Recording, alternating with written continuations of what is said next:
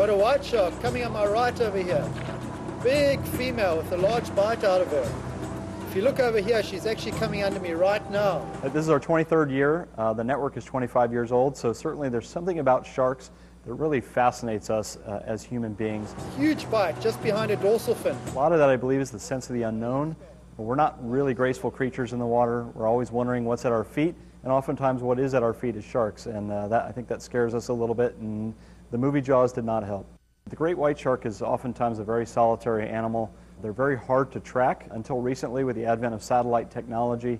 Uh, these guys are capable of swimming 25, 30 miles an hour, so they can move great distances. But this is the most studied shark in the world, and we really don't know where they're going to mate, where they're going to breed and, and pup.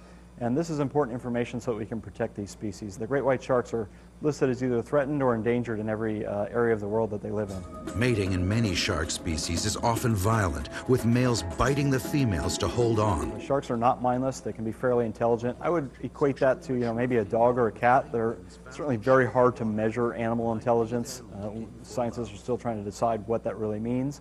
Uh, but my experience is they are able to learn fairly complicated trained behaviors. Um, and they're not eating machines. They're not out seeking human prey. So yes, they do have kind of a bad rap. Uh, but I think that is slowly changing over time. This is the third installment of the Air Jaws series, and we've taken high definition super speed cameras back to South Africa.